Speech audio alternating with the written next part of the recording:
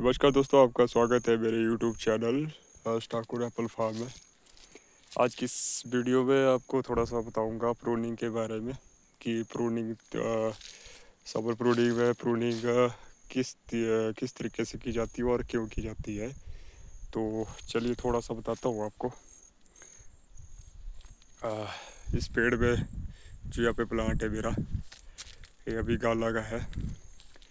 तो इसमें देखिए अगर बात करें हम यहाँ पे प्रूडनी की जब पिछले साल हमने यहाँ पे इसको कट मारा था आगे जैसे इसको रोकने की कोशिश की यहाँ पे एक रिंग बना हुआ था वहाँ पे हमने कोशिश की इसको रोकने की। हमने रोका भी क्योंकि आ, जो यहाँ पे देख सकते हो आप मेरे जो प्लांट टू प्लांट है वो चार फिट है और जो रो टू रॉ है वो मेरा आठ फिट का दायरा है।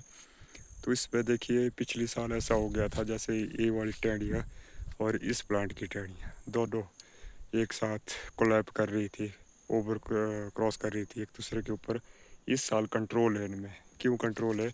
क्योंकि हमने जो है प्लांट को कंट्रोल किया समर प्रूनिंग के तरीके से। मतलब इस साल जो है कोई भी मतलब टेढ़िया एक दूसरे के ऊपर चढ़ी हुई है। जो रो टू रो की इधर से उधर से टेढ़ी आई थी, वो भी चढ़ी है।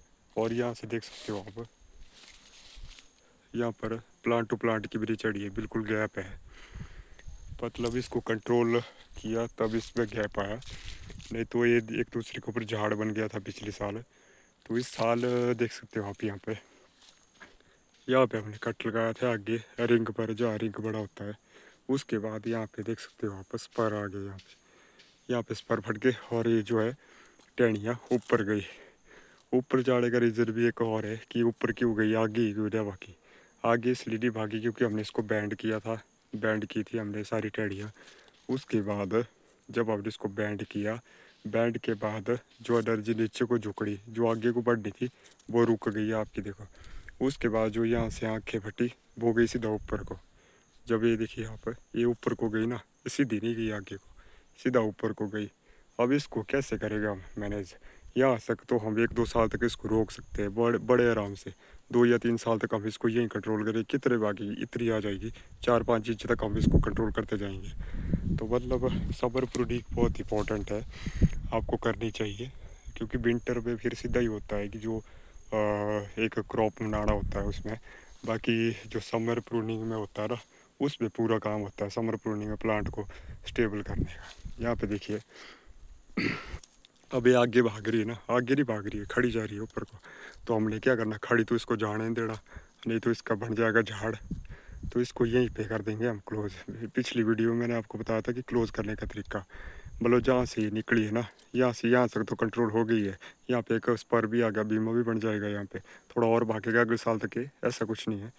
लेकिन इसको कंट्रोल करना है आपने यहीं पे जैसे मैंने बोला था कि भाई आपने जहाँ से शुरू हो गया ना वाटर शूट यहाँ से तो उसके ऊपर आपको एक या डेढ़ या आधा इंच पर कटवाना जहाँ पे आपकी आइज़ फटी हो, जहाँ पे आपकी आइज़ हो अब यहाँ पे एक आइज़ होनी कहीं पे, यहाँ से जैसे, यहाँ से निकलेगी ये चीज़ है यहाँ से आगे से। तो यहाँ से निकलेगी वो स्पर बढ़ जाएगा यहाँ पे एक। ये पीछे को एनर्जी डालेगा अब कट लग गया आगे। ये अभी टाइम लगाएगा खुद को।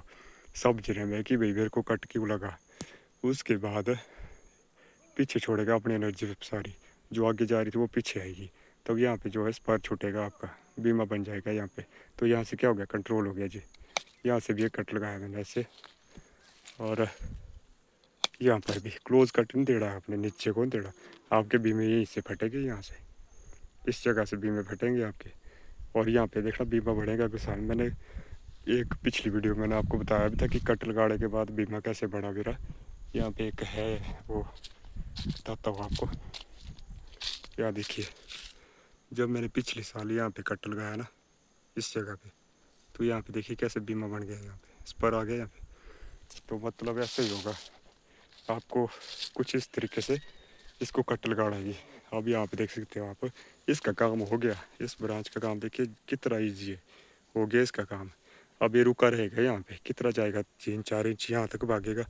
हम यहीं तक कंट्रोल करेंगे इसको। तब तक के लिए इसकी, जो पीछे ब्रांच की है, इसकी भी उम्र हो जाएगी। चार, पाँच साल चलेगी, ज़्यादा नहीं चलेगी। चार, पाँच क्या, छः, पाँच, छः साल तक हम इसको ले सकते हैं, इसमें क्रॉप उसके बाद क्या होगा कि ये मोटी हो जाएगी ना तो यहाँ से हम कट लगा देंगे पीछे का। यहाँ से एक और टेड़ी आएगी, उसको हम बना देंगे अपनी ड्यू ब्रांच तो ये थी मेरी थोड़ी सी इन्फॉर्मेशन ऐसी छोटी छोटी वीडियो में आपको डालता रहूँगा।